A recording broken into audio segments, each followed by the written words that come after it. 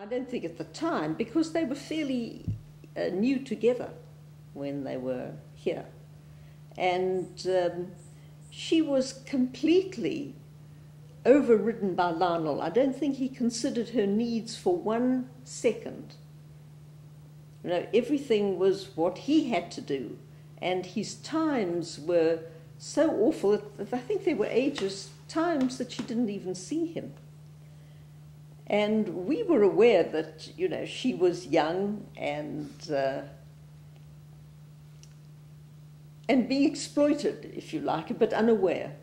I mean, she was going along with, with everything, but we used to sort of meet as families. So Ellie was very much part of it.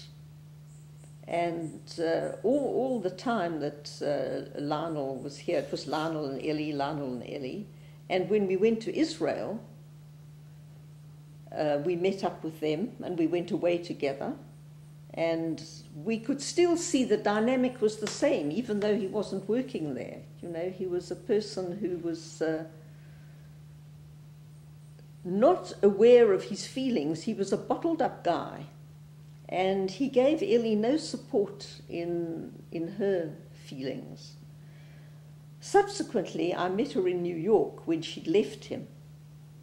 And then, of course, she just burst out and uh, told me how awful her side had been and how terrible South Africa had been for her.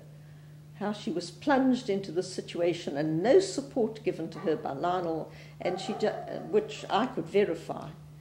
And she just got shot of a whole you know, load of feelings as to why. And she was so anti him, she didn't want to have anything to do with him.